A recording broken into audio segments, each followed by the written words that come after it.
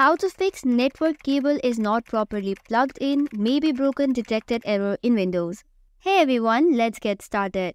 So on this video, we will be talking about two solutions to this problem. So for the first one, go on the search bar and type in troubleshoot settings. This will open this troubleshoot page. Hereby, you have to click on additional troubleshooters. Once the new page is open, under get up and running, you will see internet connection. Tap on it and click run the troubleshooter. Doing so will start detecting problems that has been arose in your computer network.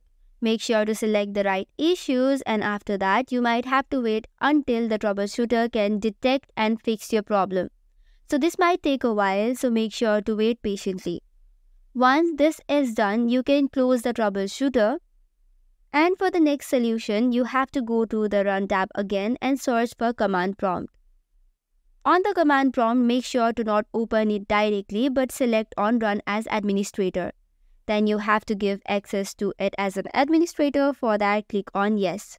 Once that is done, you can see the command prompt opening. Hereby, you have to tap in ipconfig slash flush DNS. Once that is done, hit the enter button and it will flush out the DNS. Most of the time, the network problem error is also caused due to the DNS error. Now, once you do so, click on exit and go back. Now, what you have to do is restart your device once and after that, your problem shall be fixed. So that's all for today. For more such contents, do not forget to hit the like and subscribe button.